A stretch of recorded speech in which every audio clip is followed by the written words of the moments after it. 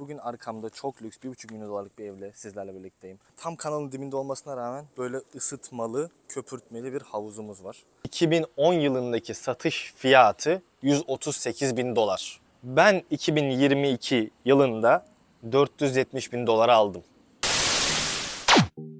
Herkese merhaba arkadaşlar, kanalıma hoş geldiniz. Sıcak bir Miami gününden sevgiler, saygılar. Benden hep abi bize emlak videosu çek, emlak videosu çek, kiraları göster, mortgage'ları göster dediniz. Bugün arkamda çok lüks 1,5 milyon dolarlık bir evle sizlerle birlikteyim. Hazırsanız videoya başlayalım. Evimiz tam nehrin dibinde, kanalın dibinde. Tam kanalın dibinde olmasına rağmen böyle ısıtmalı, köpürtmeli bir havuzumuz var. 4 oda, 3 banyo. Balkon, çardak alanı var. Burada yemek yiyorsun. Burada akşam çayını içiyorsun, kahveni içiyorsun. İçeri girelim. Bizi kocaman bir salon karşılıyor. İki taraflı mutfak var. Gaz yeni boyanmış. Lüks buzdolabının olduğu bir mutfak. Buradan devam edersek şöyle 3 tane odanın olduğu bir hol. İlk lavabomuz misafir lavabosu. Ev 200 metrekare yaklaşık her odası da 30-40 metrekare arası. Burayı kendi çalışma odası yapmış. Dışarıdaki manzara da şu şekilde. İkinci bir çocuk odası. Burası arka tarafa bakıyor. Bakın havuzu görebiliyorsunuz. Ve buranın kendine özel lavabosu hatta duşu. Ve gelelim üçüncü yatak odamıza. Herhalde bu ailenin 3 tane çocuğu var. Bu da ufak Junior'ın. Bakar mısın? Oyuncaklar.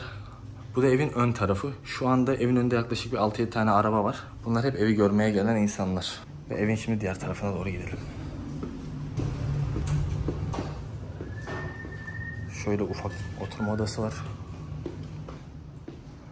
Çok ferah, geniş, rahat bir ev. Ve son olarak da ebeveyn yatak odası. Burası herhalde bir 50 metrekare civarı. Tabii ki kendi lavabosu var buranın da. Hatta böyle jacuzzi'li. İçeride de bir giyinme odası. Bu evin en sevdiğim yanı odadan çıktın. Direkt dışarıdasın abi. Havuz. Bak dediğim gibi nehir şuradan akıyor. Burada havuz var. Bu evin ücreti yaklaşık 1,5 milyon dolar Miami merkezde. Siz ne düşünüyorsunuz aşağı yorumlara atın. Dostlar az önce de bahsettiğim gibi bu ev 1,5 milyon dolar. 4 odalı, 3 banyolu, 200 metrekare. Ayrıca dışarıdaki o havuzun olduğu arsa da yaklaşık 300 metrekare. Bunun mortgage ödemelerini size açıkça söylemem gerekirse şu an günümüzdeki faiz oranları yaklaşık %7, %7,5. Bu faizle sizin aylık ödemeniz tahmini olarak 10 bin dolar civarı olacaktır. Bakın şöyle Miami merkezde 4 odalı evi 10 bin dolar belki 11 bin dolara alırsınız diye düşünüyorum. Ne düşündüğünüzü aşağı yazın. Sizce sizin imkanınız olsa, durumunuz olsa almak isteseniz bu evi alır mıydınız? Bu videomda size teker teker real estate'ten yani emlak sektöründen nasıl para kazanılır ve bunun devamında cebinize nasıl para save edersiniz yani parayı nasıl tutarsınız bunları teker teker anlatacağım. Hepimizin bildiği yöntem evi al kiraya ver. İşlem bu kadar basit değil. Hazırsanız videoma başlayalım. Dostlar en başta hedefimiz evi alabildiğince ucuz yollu alabilmek. Tabii ki bunun için pazarlık yapıyorsunuz, evi denetime sokuyorsunuz. Mesela evin çatısı 20 senelikse 25 senelikse adama verdiğin miktarda diyorsun ki kardeşim bu evin ücreti 100 bin dolar ama çatısı eski olduğu için ben sana 95 bin öneririm diyorsunuz. Böylece pazarlığınızı güçlendirerekten evi kapattınız. Çok güzel. Sonrasında evi kiraya vermeniz lazım. Evinizin kirasını öğrenmek için Zillow Rent Estimate yazmanız yeterli. Çıkan linke tıklayarak adresinizi koyun ve bir de e-mail soracak. Oraya da çakma bir e-mail verin. Böylece evinizin veya almayı düşündüğünüz evin kirasını ortalama olarak çıkartacaktır. He, bu benimle reklamlı, linkli, sponsorlu falan değil. Sadece ben bunu kullanıyorum. Size de önerim budur. Dikkat etmemiz gereken ilk madde cash flow, Türkçesi nakit akışı. Evin mortgage ödemesi 1000 dolar. Bu bütün mortgage'ın kendisi, evin sigortası ve emlak vergisi dahil. Devamında evi kiraya vereceksin. Ne kadara vereceksin? Mümkünse mortgage'dan fazlaya vereceksin. Gidip 1100'e 1200'e vereceksin. O aradaki 200 dolar var ya o 200 dolar senin nakit akışın. Cash flow. Birinci para kazanma yöntemimiz budur. Şimdi gelelim ikincisine. Appreciation. Evin değer kazanımı. Bu ne demek? Bir eve aldınız ya. Aldınız. e, Ödemesini yapıyorsunuz. Bir yandan bu evin değeri artıyor. Bu gerekirse emlak piyasasının artması olsun. Enflasyonla alakalı olsun. Bir şekilde evin fiyatı uçuyor gidiyor. Türkiye'den bunu gayet iyi biliyoruz. 2 sene önce 1 milyon alınan evler şu anda 3 milyon, 5 milyon TL olmuş durumda. Genel olarak Amerika'da %5, %8 değerinde senelik emlak değerleri artıyor. Fakat Covid zamanı 2020 ile 2022 arası Florida eyaletinde belki toplamda %40 değer artışı oldu. Kendi evimden gene örnek vereceğim. Bu evin 2010 yılındaki satış fiyatı 138 bin dolar. Ben 2022 yılında 470 bin dolara aldım. Bakın yaklaşık 12 senede 3 katına çıkmış. 3 katına. 140 neresi, 470 neresi. Şu anda bu evi satmak istesem garanti 500 üstüne gider. Hem evin kendi değeri arttı hem ben içine dışına bakım yaptırdığım için ekstradan bir katma değer üretmiş oldum. Appreciation emlaktan nasıl para kazanacağımızın ikinci yöntemidir. Dostlar, üçüncü yöntem loan payment yani evin ödemesi. Bu ne demek? Şöyle açıklayayım.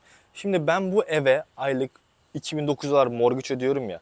Bu 2900 dolar mortgage'den yaklaşık 900 dolara evin sigortası ve yıllık emlak vergisi. Geriye kalan 2000 doların 1500'ü evin faizine gidiyor.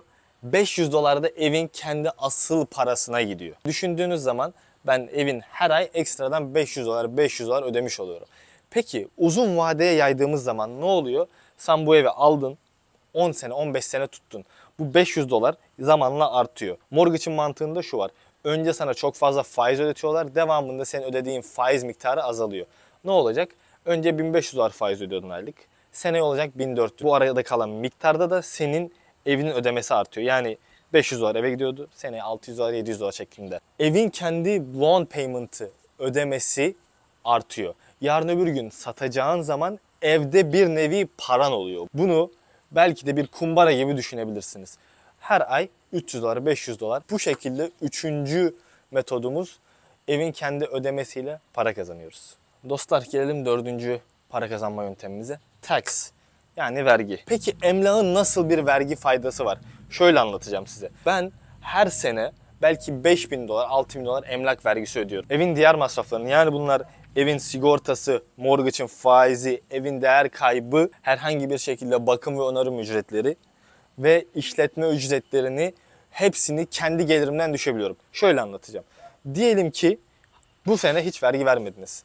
100 bin dolar kazandınız, 20 bin dolar yaklaşık vergi vereceksiniz. Ne oluyor? Sizin eviniz varsa bu bahsettiğim kalemleri toplam gelirinizden düşebiliyorsunuz. Mesela 20 bin dolar o bahsettiğim gideriniz oldu. Bu sefer 100 bin dolar üzerinden değil 80 bin dolar üzerinden vergilendirmeniz oluyor.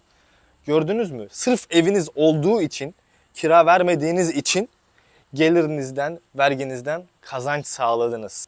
Dostlar size olabildiğince kendi bildiklerimi anlatmaya çalıştım. Bu anlattıklarım okullarda, derslerde anlatılan bilgi değil. Gerçekten yaşayıp öğrenmeniz gereken şeyler. Buraya kadar izlediyseniz lütfen videoma bir like atmayı, aşağı bir yorum bırakmayı unutmayın. Bir de kanalıma abone olup bildirim zilini açın.